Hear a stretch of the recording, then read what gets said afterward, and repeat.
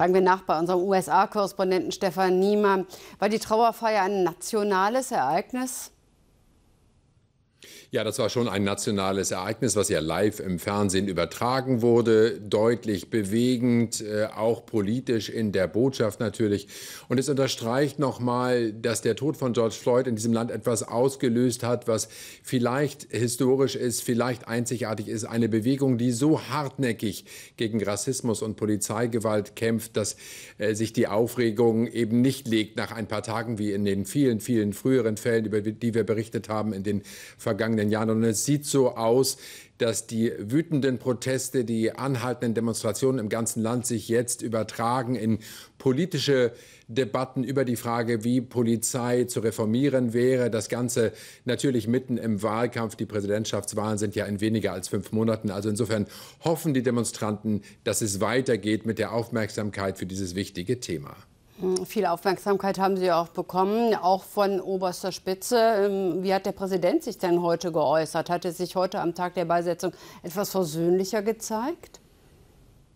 Nein, hat er nicht. Ähm, er hat sich heute per Twitter anderen Themen gewidmet, hat äh, deutlich längst wieder umgeschaltet auf Wahlkampfmodus. Parolen wie Make America Great Again, also sein Wahlkampfslogan, äh, werden da per Twitter wieder verbreitet und alle möglichen anderen Themen beleuchtet. Er hatte ja der Familie von George Floyd, das muss man sagen, äh, am Telefon kondoliert. Das ist schon eine Weile her. Hatte auch früh davon gesprochen, dass dies ein schreckliches Verbrechen sei, das aufgeklärt werden müsse. Aber seitdem gibt es von Trump eigentlich überhaupt keine versöhnlichen Töne mehr, nicht in Richtung der Familie und der Freunde von George Floyd und vor allem auch nicht äh, an die Adresse der schwarzen Bevölkerung in diesem Land, die ja unter Rassismus so stark zu leiden hat. Äh, Im Gegenteil, Trump präsentiert sich eigentlich seit Tagen als Law and Order Präsident. Äh, er hat sich gestern mit Gesetzeshütern, mit Polizisten und auch Staatsanwälten im Weißen Haus getroffen und hat da dann den schönen Satz gesagt, ja, es gibt Ungerechtigkeit Ungleichheiten in der US-Gesellschaft. Ja, es gibt rassistische Einzelfälle, Übergriffe in der Polizei, aber 99,9 Prozent, und dann korrigierte er sich, 99 Prozent der Polizisten im Land seien gute Kerle. Also so äh, präsentiert sich mhm. Donald Trump in diesen Tagen und von ihm heute kein Wort zu der Trauerfeier in Houston. Also eine ganz, ganz klare Positionierung. Joe Biden, sein Herausforderer auf der demokratischen Seite, ähm, der kommt ja ganz anders daher. Er hat sich ja getroffen, auch mit der Familie von George Floyd. Er hat auch eine Videobotschaft zur Trauerfeier äh, gesendet. Hat er da eine neue Rolle gefunden?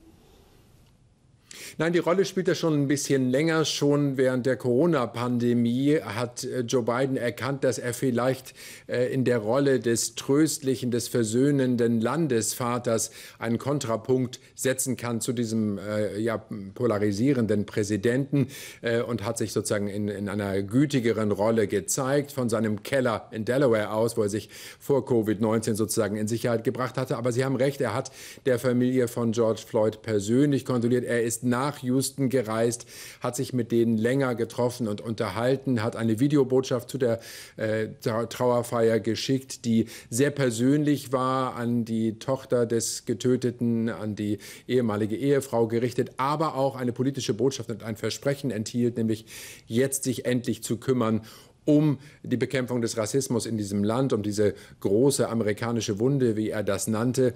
Es gibt aber, das muss man auch sagen, auch offene Zweifel daran, dass Joe Biden äh, bei diesem Thema jetzt für wirkliche Reformen steht, weil er einfach schon jahrzehntelang in der Politik ist, wenig bewirken konnte in dieser Hinsicht, auch an der Seite von Obama, nicht über die acht Jahre im Weißen Haus als Vizepräsident. Also es gibt ähm, bei den äh, schwarzen Demonstranten, die wir getroffen haben hier in Washington, durchaus Skepsis ob Joe Biden nun wirklich der kämpferische Kandidat ist, der für ihre Sache mehr bewegt als andere vor ihm. Mhm. Wer kann denn dann was für diese Sache bewegen? Gibt es denn da überhaupt jemanden? Gestern gab es ja auch von den Demokraten immerhin einen Gesetzentwurf, der eingebracht wurde. Wo sind denn da diejenigen, die für, ähm, gegen Rassismus, für neue Polizeigesetze tatsächlich kämpfen können?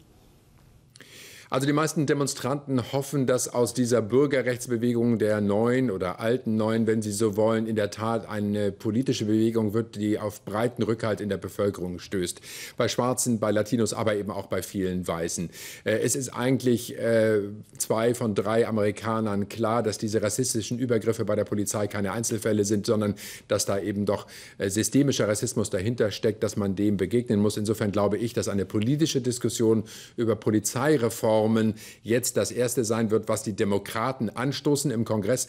Ob die Republikaner, die ja im Senat die Mehrheit haben, dem folgen und ob Gesetze eventuell von Trump in einem Veto belegt werden, das wird sich in den nächsten Wochen zeigen. Stefan Niemann, herzlichen Dank für die Einordnung und guten Abend nach Washington. Danke.